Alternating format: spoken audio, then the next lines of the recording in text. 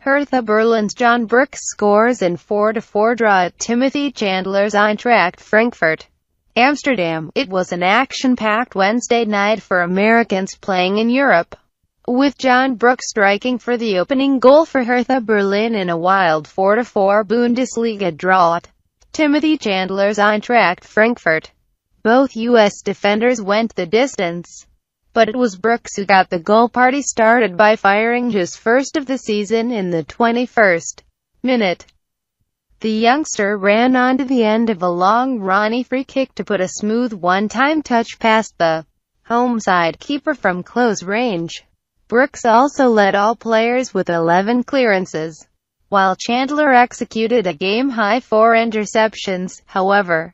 Hertha's American saw a flicked restart flyby when Eintracht completed their rally from three down and from two behind at the start of stoppage time, on Alexander Meier's last gasp equalizer.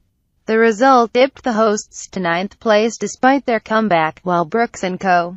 held firm in 13th. Meanwhile, Fabian Johnson went unused as Borussia Mönchengladbach gave a 4-1 lesson to guests Werder Bremen thanks to their third win in the last four home games.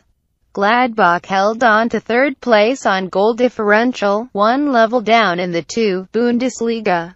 Alfredo Morales assisted on the first half icebreaker as Ingolstadt moved seven points clear at the top with a 2-1 victory over visiting St. Pauli.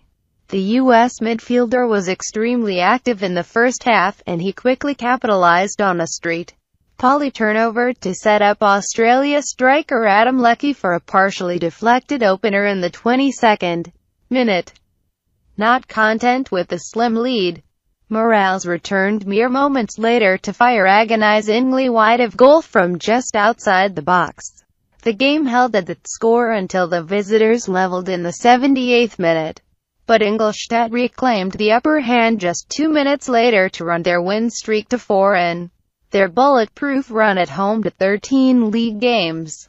Turning to Belgium's Cofidis Cup, Sachik bagged the capper as guests Anderlecht got a quarter-final leg up on Zulte Waregem with a 3-0 away victory. Just two minutes after entering the match and four before the final whistle, the midfielder's restart run was rewarded when Youri Tielemans' ball bounced into the net off his thigh. The teams will reunite in Brussels on January 21 to complete the tie next door in the KNVB Cup. Aron Jóhannsson went the distance as AZ Alkmaar advanced to the Elite Eight thanks to a 2-1 home triumph over NEC Nijmegen. The next round will not be drawn until late January.